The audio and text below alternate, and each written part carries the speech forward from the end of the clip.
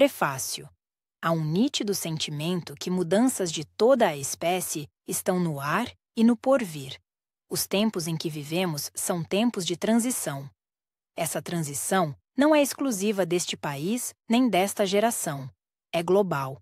Por séculos, a consciência intelectualizada tenta descrever, analisar, traçar cenários, prever resultados e controlar momentos como esses. Nunca conseguiu. As mudanças ocorrem e a consciência convive com os resultados. No entanto, a consciência do ser humano não permite tal entrega ao acaso. A consciência é racional, emocional e também é intuitiva. Processamos intuição com o mesmo peso que processamos dados e fatos e emoções.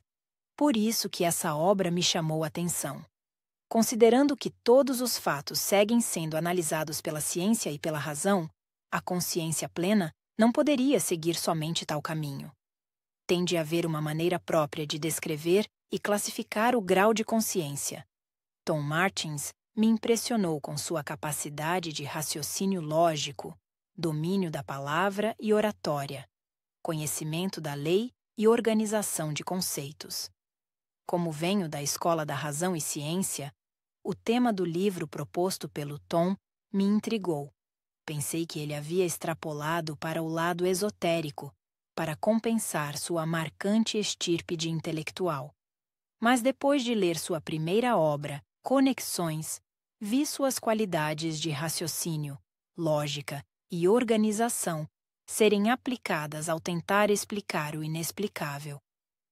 Comentei que a formação de raciocínio na primeira obra era tão profunda que exigiria do leitor manter diversos conceitos vivos durante a leitura, para se ter a total compreensão de qualquer parágrafo.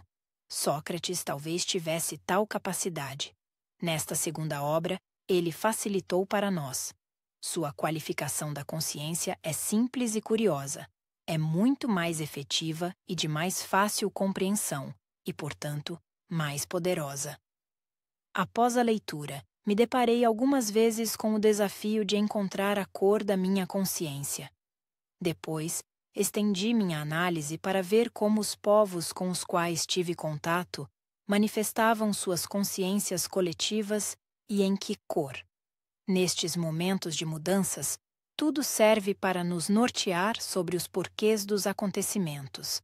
Não há ciência capaz de reduzir a complexidade de variáveis que assaltam nossa consciência e nos faz reagir da forma que reagimos conforme os tempos e as localidades.